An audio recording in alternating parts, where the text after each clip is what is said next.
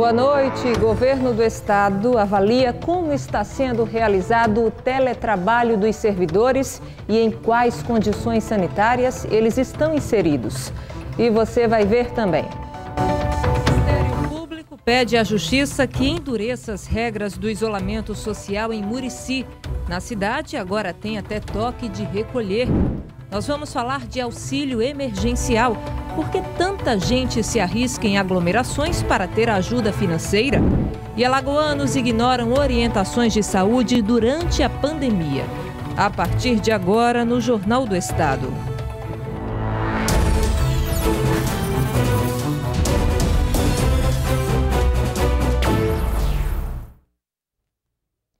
Com o terceiro maior número de casos confirmados da Covid-19, a cidade de Murici, na zona da mata do estado, é o primeiro município alagoano a declarar toque de recolher.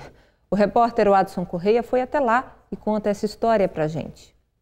A cidade de Murici tem um pouco mais de 26 mil habitantes. Aqui é o terceiro município do estado com mais casos confirmados de contágio por conta do novo coronavírus. Até o prefeito Olavo Neto, do MDB, divulgou o resultado positivo para a doença. Esse momento é difícil, esse momento de muitas incertezas, mas que com muita fé, muito trabalho e a união dos esforços de todos, nós venceremos. Barreiras sanitárias foram criadas. Agora só existe este acesso, de entrada e saída. A verificação da temperatura é feita a todo instante. Os funcionários da saúde e guarda municipal trabalham apenas com máscaras, sem o EPI completo para esse tipo de serviço. Preocupado, o Ministério Público pediu à Justiça que endurecesse as regras do isolamento social. Agora tem até toque de recolher. Depois das 10 da noite, a população fica proibida de transitar pelas ruas. Foi importante essa medida, foi salutar, foi necessária.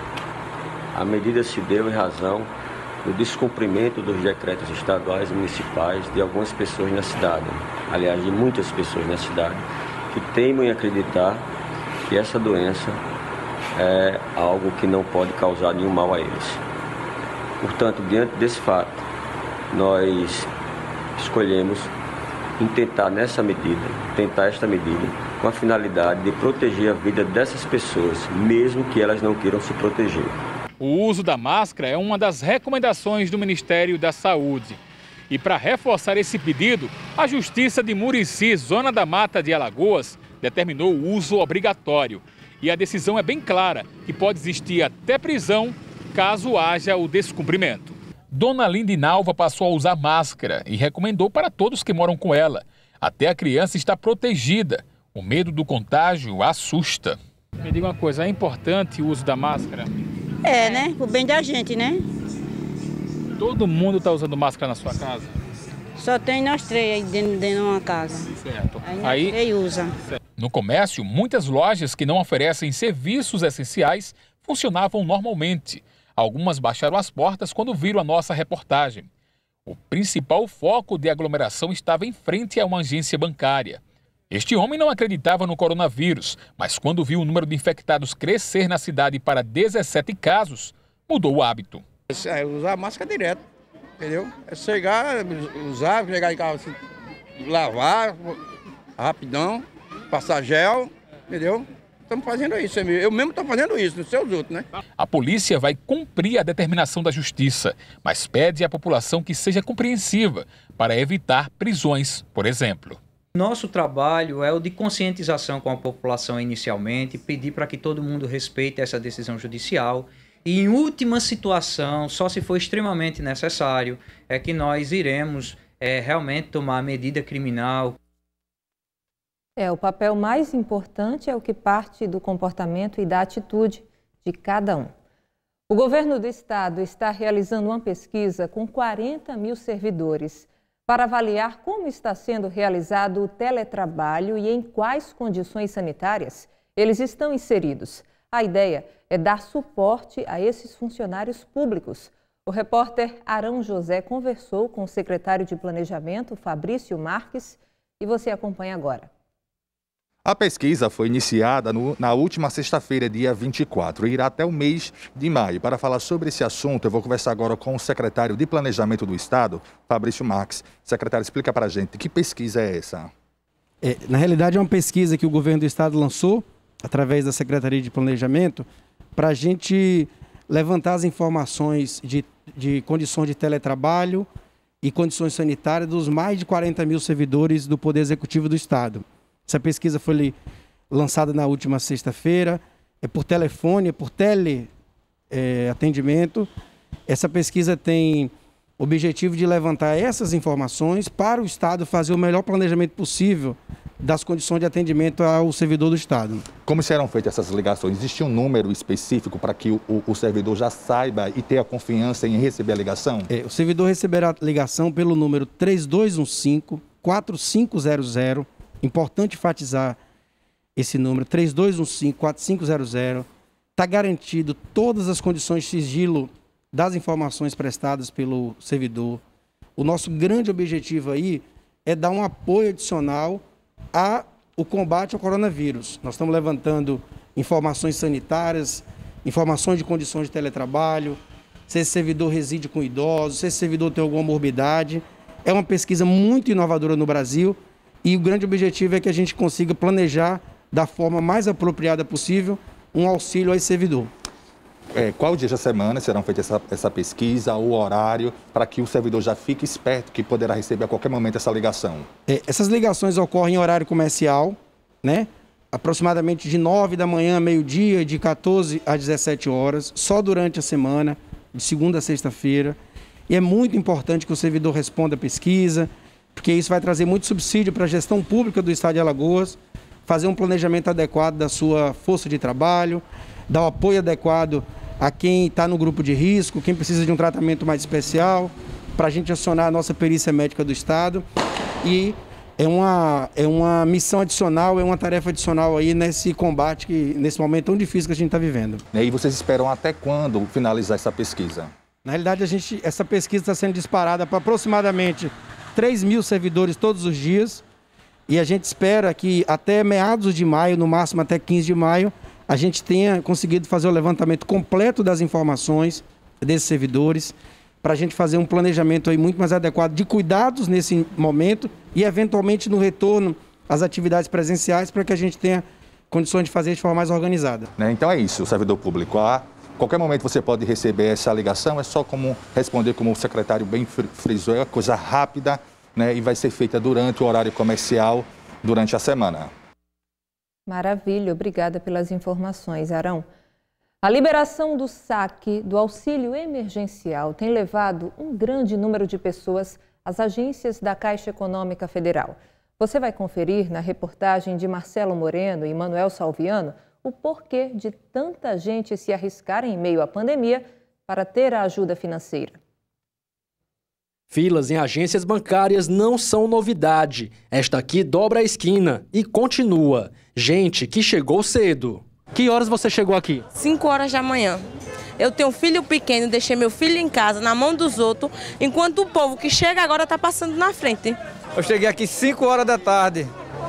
5 horas da tarde, mas desde 6 horas da manhã, peguei direto, sem dormir, sem dormir, tá entendendo?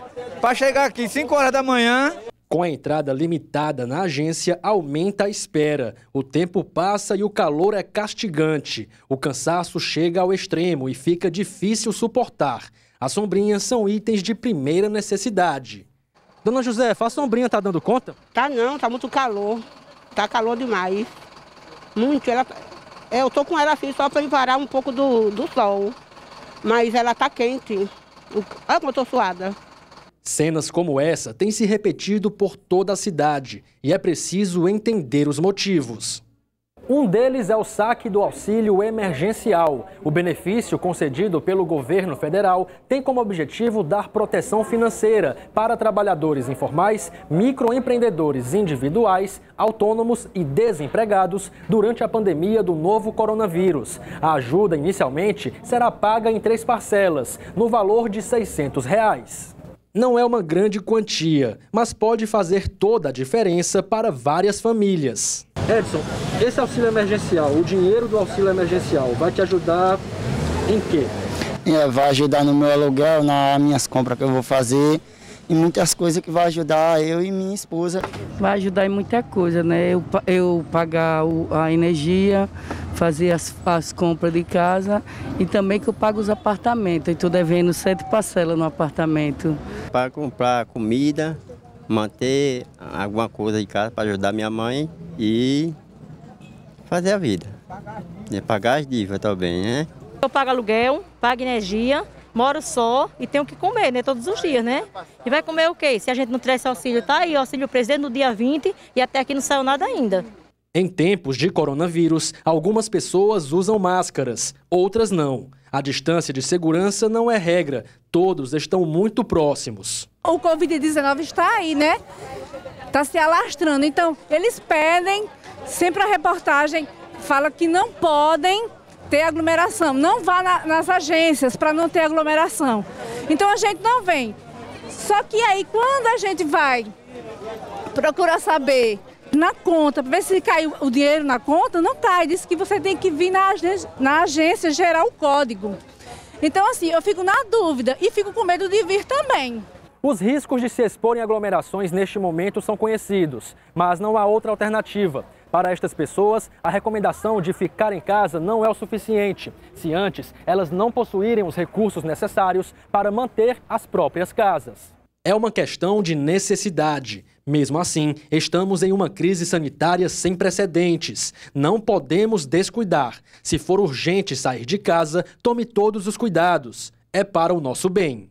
A senhora, quando sai de casa, sempre sai prevenida? Sempre, sempre. E quando chega em casa, lava as mãos, usa o álcool, o, carpete, o carpete é cheio de água sanitária, sua mãe para deixar a sandália e já calçar outra. Tá certíssima. Encerra amanhã, dia 30, a seleção que está sendo realizada pelo sistema Apvida para recrutar mais de 500 enfermeiros e técnicos em enfermagem em diversas regiões do Brasil, incluindo Maceió. O objetivo é reforçar a equipe para o combate ao novo coronavírus. Os interessados devem enviar o currículo por meio do link bit.ly barra notícia vagas temporárias. Ao acessar o site, o profissional deve selecionar a cidade e o cargo para o qual deseja concorrer e enviar o currículo para o e-mail descrito na página. A expectativa é de que, com o reforço da equipe assistencial para esse período de pandemia, o atendimento eficiente e de qualidade aos clientes melhore ainda mais. A seguir, nós vamos ver que tem muitos alagoanos ignorando as orientações de saúde durante a pandemia da Covid-19. O JE volta já.